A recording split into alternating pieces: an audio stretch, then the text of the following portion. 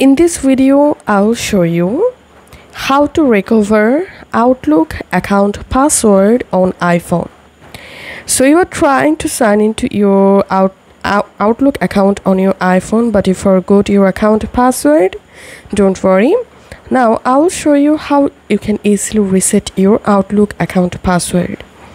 First of all, on your iPhone, open the Outlook app and then just go to sign in page once you are in sign in page in this email address box you have to write your outlook account email address and then tap on add account.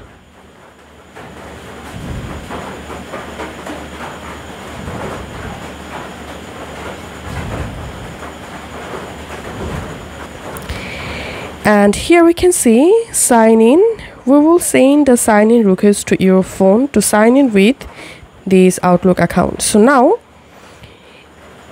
here we can see use your password instead or we can see sign in with a different microsoft account.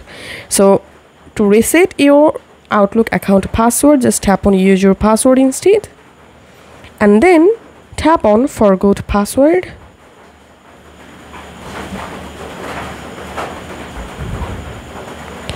And now you have to verify your Outlook account identity. So how would you like to get your security code? If you added uh, email address to your Outlook account, then here you will see the email address. Now all you have to need select the email address and then you have to verify the email. So in this email box, just type the email address and then tap on get code to get the verification code. Or if you don't have any of this then tap here. And then you have to verify your identity on the web. If you don't have access to your security info you will have to continue this process on the web. So without uh, email address resetting outlook account password is quite hard. So i'm going to back from this page because I will reset my password with my email address. Here's I'm going to forgot password section again. So tapping on forgot password. And now I'm just verifying my email address here. And tapping on gate code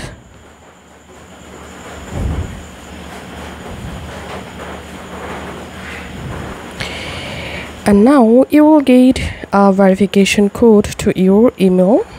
Just copy and paste the verification code here and tap on next. And once you successfully verified your outlook account email address now here you will get the field to easily create a new password for your microsoft or outlook account. Just create a strong password here retype the password and just tap on next and your password will be changed.